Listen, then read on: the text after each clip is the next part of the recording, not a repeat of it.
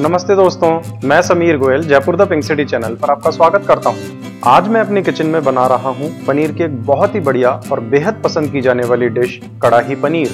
ये आमतौर पर तीन वेराइटीज में बनाई जाती है ड्राई सेमी ड्राई और ग्रेवी में। हम इसे आज सेमी ड्राई बनाने वाले हैं। आइए देखते हैं, इसे बनाने के लिए हमें क्या क्या चाहिए।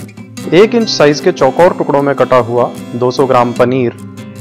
चौकोर टुकड़ों में कटे हुए दो प्याज चौकोर टुकड़ों में कटी हुई एक शिमला मिर्च।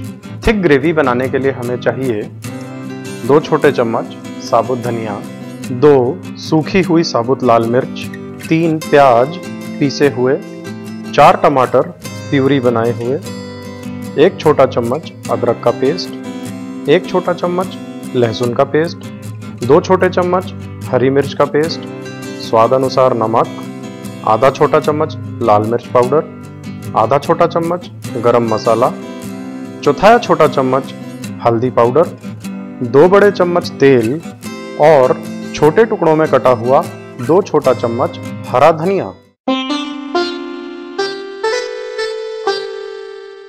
कढ़ाही पनीर बनाने की शुरुआत हम ग्रेवी से करेंगे। इसके लिए एक कढ़ाई में दो चम्मच तेल गर्म कर लीजिए और इसमें अदरक लहसुन का पेस्ट डालकर दो मिनट के लिए भून लीजिए।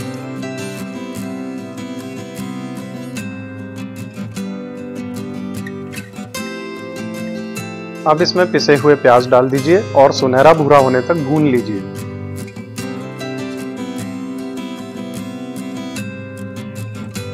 जब तक प्याज पक रहा है, तब तक एक पैन में साबुत धनिया और साबुत लाल मिर्च ड्राई रोस्ट कर लीजिए ताकि ये अच्छी खुशबू देने लगे। जब प्याज पक जाए, तब इसमें ड्राई रोस्ट किए हुए मसाले, टमाटर प्यूरी, हरी मिर्च का पेस्ट, नमक और हल्दी पाउडर डालकर अच्छी तरह मिला लीजिए।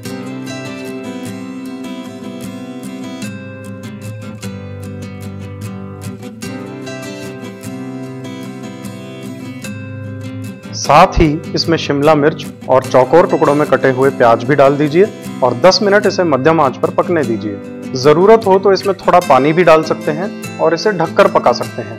अब इसमें लाल मिर्च पाउडर और गरम मसाला डालकर अच्छी तरह मिला लीजिए। और पाँच मिनट कम आँच पर पकने दीजिए। ये देखिए, मसाला पककर तैयार हो गया है। अब इसमें पनीर डालकर मिक्स कर लीजिए और इसे धनिया पत्ती से गार्निश कीजिए।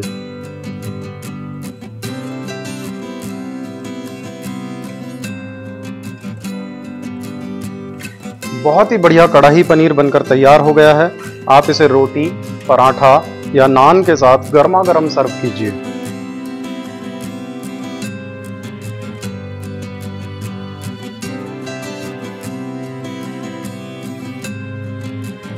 कढ़ाही पनीर की यह रेसिपी आप हमारी website Jaipur the Pink City dot com से हिंदी में प्रिंट भी कर सकते हैं। हर शनिवार मेरी नई रेसिपी हिंदी में देखते रहने के लिए मुझे Jaipur the Pink City channel पर फ्री सब्सक्राइब कीजिए।